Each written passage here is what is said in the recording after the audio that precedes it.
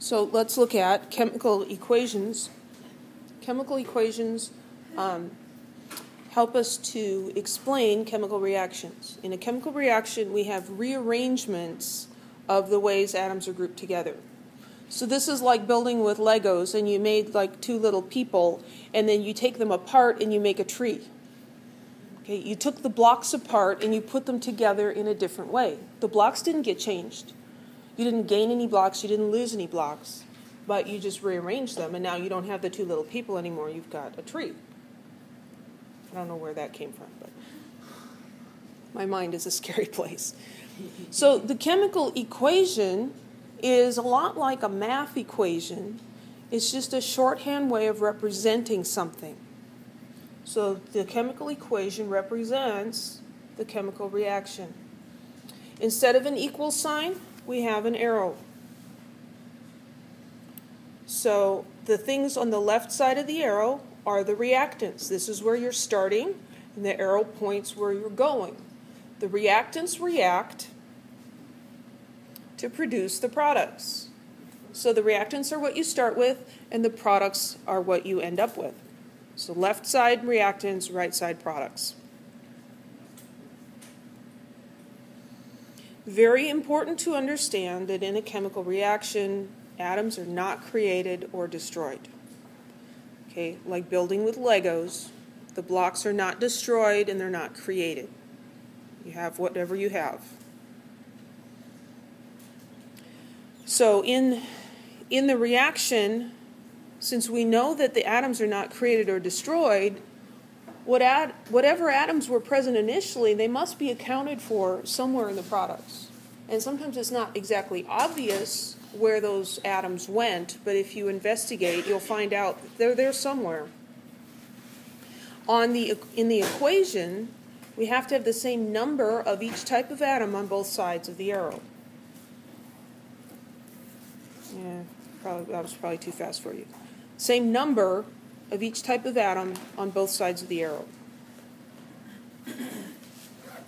So let's look at um, look at pictures of this. So here we have a chemical equation of uh, methane, which is natural gas, reacting with oxygen. It forms carbon dioxide and water. That's what happens when methane burns. So these are the reactants, and those are the products. And here we have an illustration. This methane molecule has one carbon atom and four hydrogen atoms, and the oxygen molecule has two oxygen atoms. So if we count up the pieces that we have, like counting up the Lego bricks, we see that we've got one carbon atom, four hydrogen atoms, and two oxygen atoms to start with. And then if we see, okay, well, they're, they're going to make carbon dioxide and water, the carbon dioxide, each molecule has one carbon and two oxygens. Each water molecule has two hydrogens and one oxygen. And if we add those up, we find out that we have one carbon, two hydrogens, and three oxygens.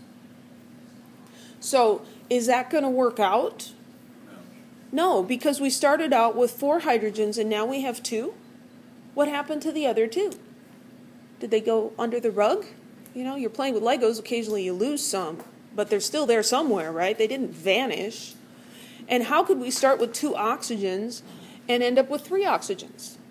Did those two hydrogens change into oxygen? No. The atoms are not changed in, in a chemical reaction. The problem is our description, our equation is not quite right. And so we need to balance the equation. So here we have these guys. The carbons were okay, there was one on each side, but we didn't have enough oxygens on this side. So let's put in another oxygen molecule. We can't put in half of one, we have to put in a whole oxygen molecule. That ends up giving us four oxygens and four hydrogens and one carbon. But then over here,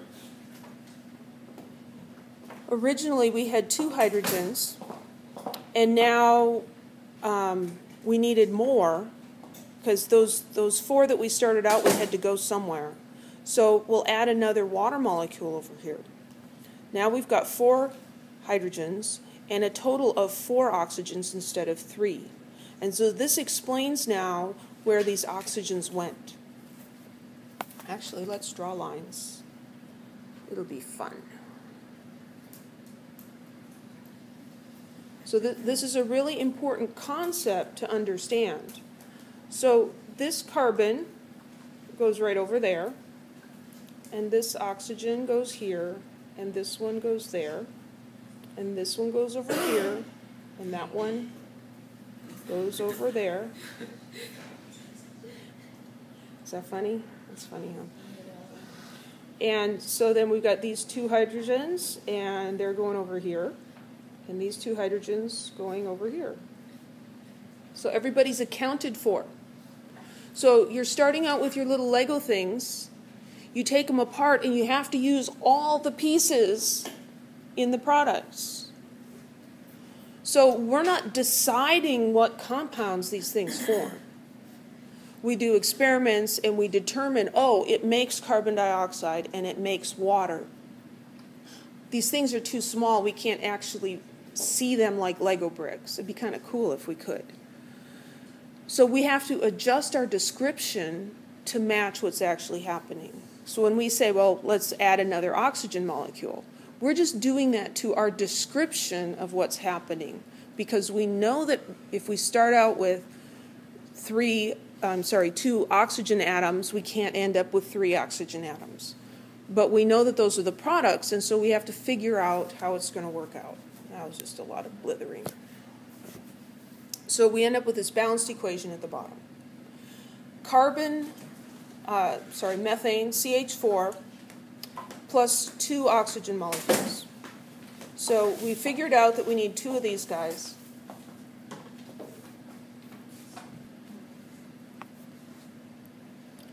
CH4 plus two oxygens. So we indicate that we have two oxygen molecules by putting a large number in front. Okay, we call that a coefficient. We don't change the subscript because O2 describes how these molecules are. The oxygen molecules are two oxygens bonded together. We can't just decide, well, we needed four of them, so we're going to make one big molecule that's got four oxygens. That's not how it happens. So there's two of those. We end up with one carbon dioxide molecule and two water molecules.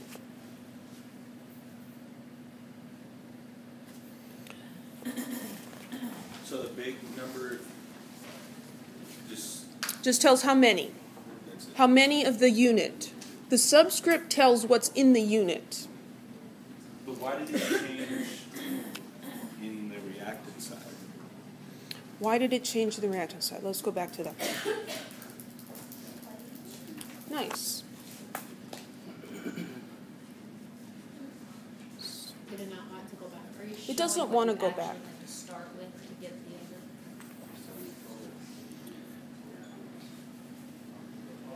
Okay, so our this is our unbalanced equation, and these formulas um, come about essentially from experiment. You know, we know that the formula of this is CH4, that the molecules are one carbon and four hydrogens, and that oxygen is one of those diatomic elements. As an element by itself, it's O2.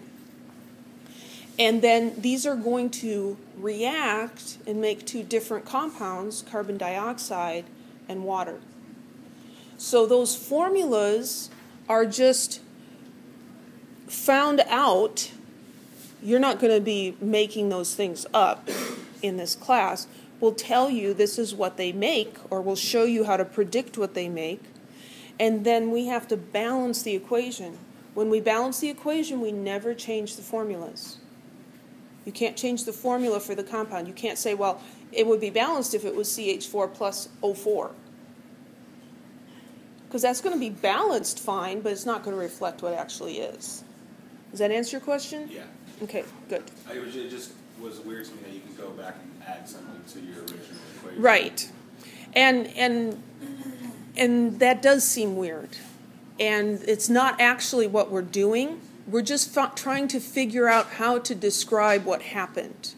And our initial attempt with this unbalanced equation, when we look at it closer, we recognize okay, that's not quite accurate. Because that would what imply that we've got some hydrogens disappearing and some oxygens appearing out of nowhere. And that's not possible. What is the name of the sea? Methane.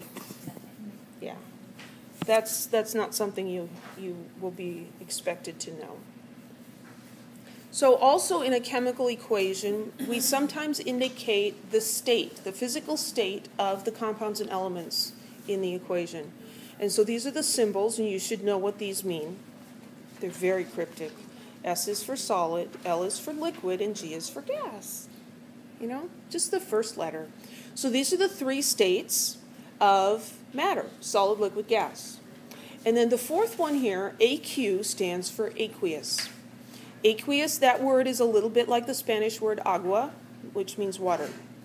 Okay, so an aqueous solution just means that you have something that's dissolved in water. Water is, is kind of the universal solvent. Um, a lot of things dissolve in water, and so pretty much everything we're doing in this class is going to be dissolved in water. But it is possible to dissolve things in other liquids besides water. So AQ means that it's dissolved in water. So here are some examples of chemical equations and chemi- describing chemical reactions. So in this picture, we have solid potassium. It looks like it's in water, but that's actually an oil to keep it from reacting with the water in the air.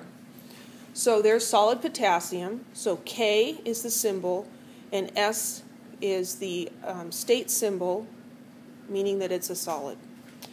Potassium, when you mix it with water, here liquid, so there's the water. When you mix those together, you get a reaction in which hydrogen gas is given off, and you end up with potassium hydroxide that is dissolved in water. So that's the AQ. Now, you see the flames here? So, hydrogen gas is flammable, isn't it? Yeah. This is um, a somewhat violent reaction. It generates a lot of heat. It generates so much heat that the hydrogen gas spontaneously ignites. So you put potassium in water, it generates hydrogen and so much heat that it flames. So yeah, very cool or very hot, depending on your point of view, I suppose. But that's the description. Now, is that equation an okay equation? Is this balanced? Here we're starting with one potassium and we're ending up with one potassium. That's okay. Yeah, we, we've got an extra hydrogen. So here we've got only two hydrogens on the left side. There we've got two on the right side and another one over here. So this is not a balanced chemical equation yet. It's just telling us what is reacting and what's being formed, but it's not balanced.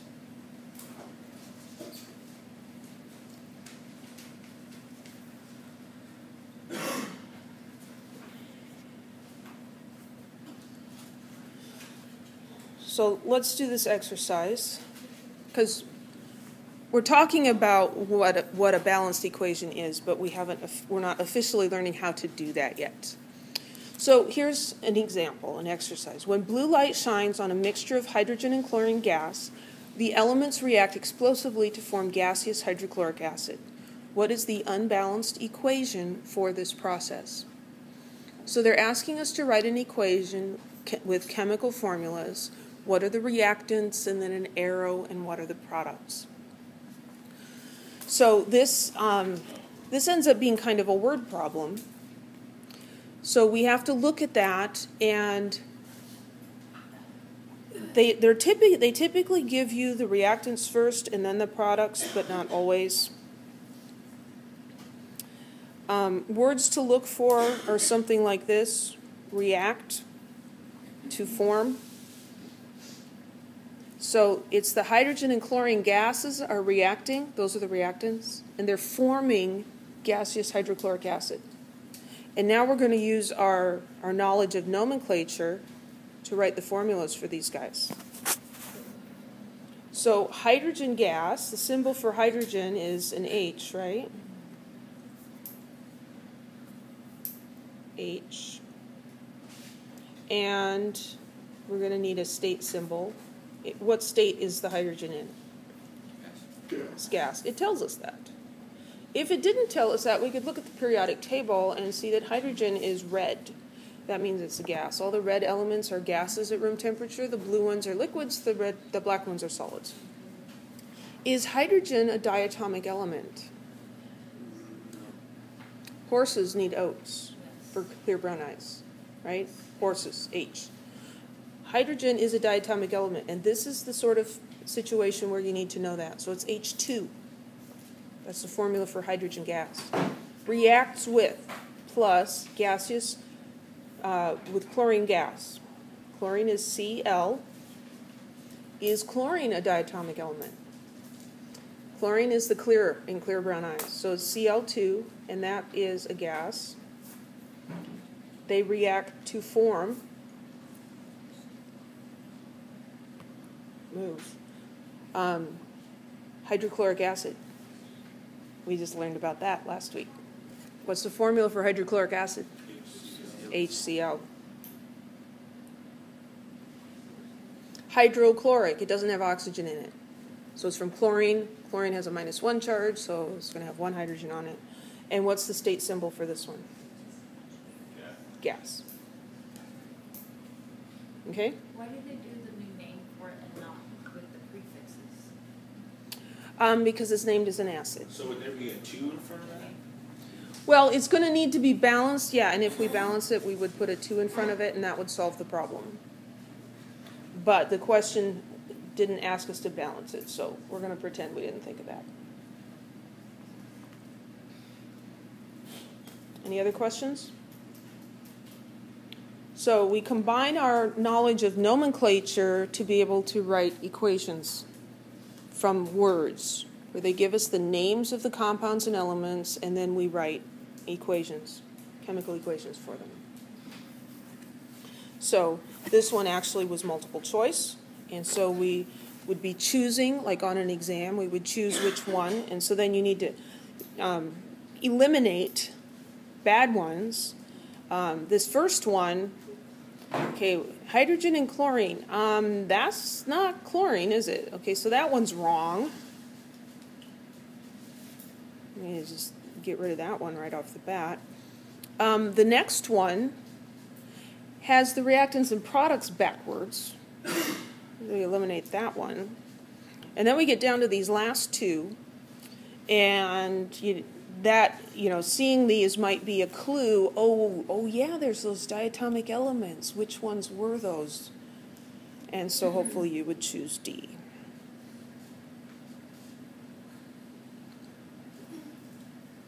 There we go.